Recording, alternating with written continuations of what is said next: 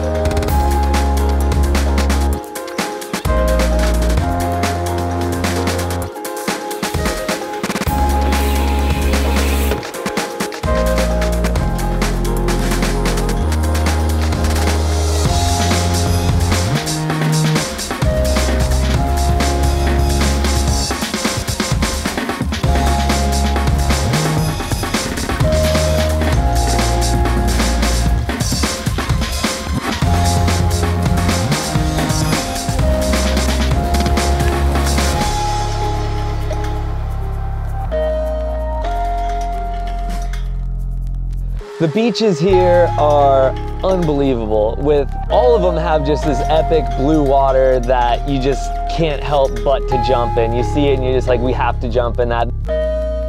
You just go on these adventures down the shoreline, just seeing so many incredible sights and everything that is like, wait a minute, this is real right now? And you're just looking at it and just staring at it, it's like, oh, this is incredible.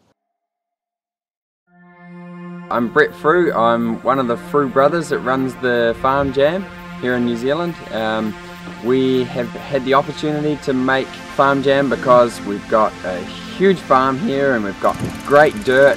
If you can do it, you do it, right? And we've got uh, 2,600 acres here of beautiful land and some jumps and when everyone turns up to ride the jumps it makes life worth living.